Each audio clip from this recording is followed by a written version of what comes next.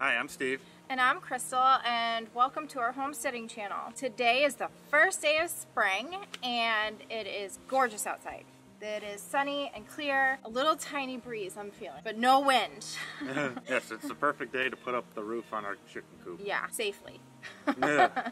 we have the corrugated metal roofing that's going to be going up on the coop. We've got the sealant that seals in between each panel, and I mm-hmm. also have the foam to block any rain from making its way underneath the panel and into the coop. I'm not too worried about making the coop airtight because I want proper ventilation. Mm-hmm. I just want to make the coop watertight. Adding a little bit of extras to the roof to make sure that it stays dry.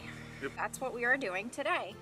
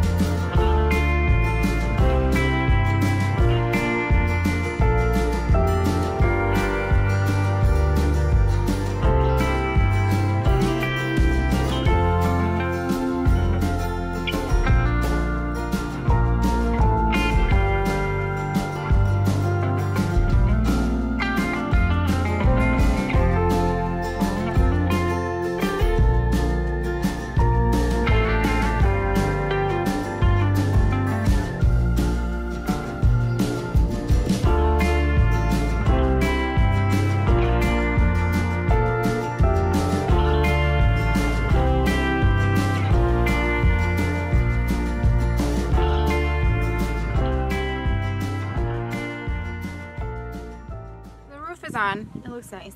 Thank you. It looks very nice. I think you did an excellent job. It looks perfect. Learned my roof isn't 100% square, but I made it work to uh, weather tight. fancy. It's a fancy coop. The metal roofing is very bright when the sun hits it, but it looks nice. It'll work out really well. Now we have more motivation to finish the coop because our, our chickies are here. They're inside right now, eating, running around.